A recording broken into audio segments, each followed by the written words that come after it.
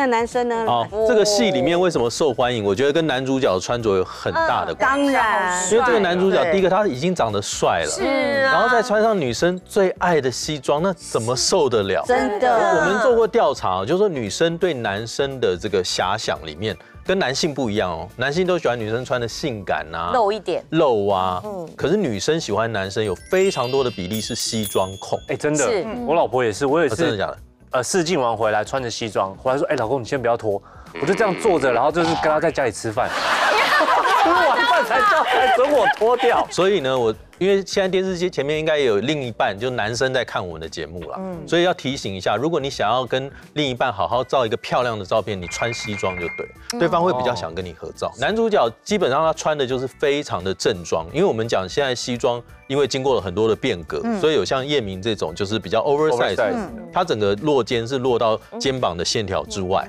可是在这里面呢，因为所谓的正装就是最 formal style、最传统的呃剪裁。那最常用这种剪裁，我们会看到就是这种双排扣。双排扣是给人家非常难哦。非常英伦的感觉，但是双排扣不好穿，对。它非常讲究体格。对。啊，如果你体格不好的话，双排扣因为它本身是呈现比较 boxy 的剪裁，对。所以容易变宽变大。嗯，那所以太胖的人不适合不适合。不能维原身亚都穿。要扁身那要扁身的人，扁身。对，像哦韩剧的这种，他们又高又瘦又又瘦肩膀又宽。腿又细。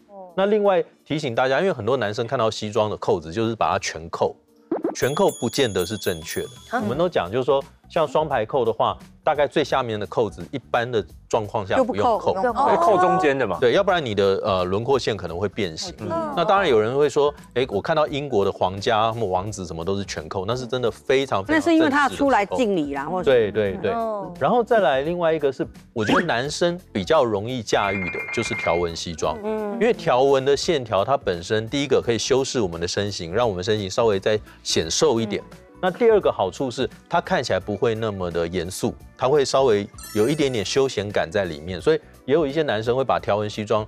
有时候假日的时候，里面配那个 T 恤啊，哦也会有这样的穿法。哦那我建议男生如果要比较好入门，你就选择呃深蓝色，对，深蓝色的，不要是黑色的，深蓝色的条纹西装会比较好驾驭。嗯，然后再来就是最正式的，是所谓的它是单排扣，但是三件式好好西装。看，嗯哇，很多人听不懂什么叫三件式，其实非常简单，衬衫、西装背心，再加上外套，它就是三件式的概念。那三件式也一样，我们在看西装，以男生的正装来讲，它会有三颗扣的，也会有两颗扣的，也会有一颗扣的。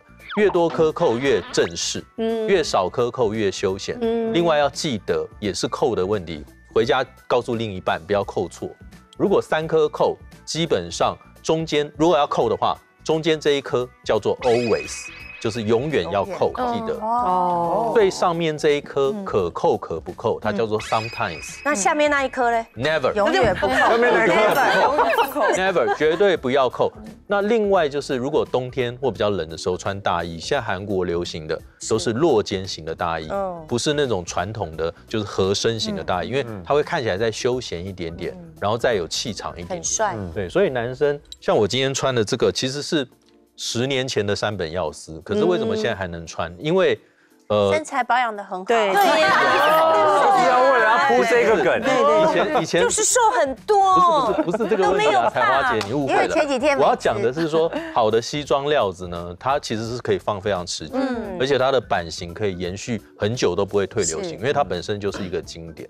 只是说跟大家讲，如果它是比较大的领片，你里面的衬衫就要配比较大的领，哦，也要配比较宽的呃这个呃领带。所以大家可以看到，现在韩剧里面他们都是流行比较正统的，嗯。就是大型的领子啊，然后配上比较宽的领带。大家还记得刚刚 Julie 老师讲的 Y2K 的时代不是这样流行，Y2K 的时代都是窄领、小小领。带、窄的这个片领。啊，所以现在的方式跟以前不一样，大家可以透过西装去学到很好的正装知识。